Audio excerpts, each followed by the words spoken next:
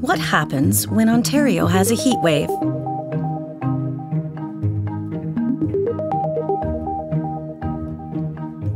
You need to be able to count on electricity, even when demand suddenly spikes or renewable sources like wind and solar drop off suddenly. We have a diverse energy portfolio for different reasons. Nuclear runs 24 7 providing baseload power. Hydro provides both baseload and peak power. And wind and solar provide intermittent power that depends on the weather. Natural gas generating stations provide us with flexible power and can respond quickly to meet changes in demand or supply. Even though natural gas is a fossil fuel, it enables renewable energy because it can respond quickly to changes in sunshine or wind speed.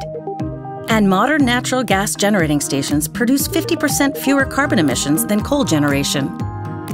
Natural gas technology is flexible. Some plants are designed and built to primarily meet demand during the highest peak hours every year, while other plants are designed to operate efficiently and cost effectively over more hours in the year.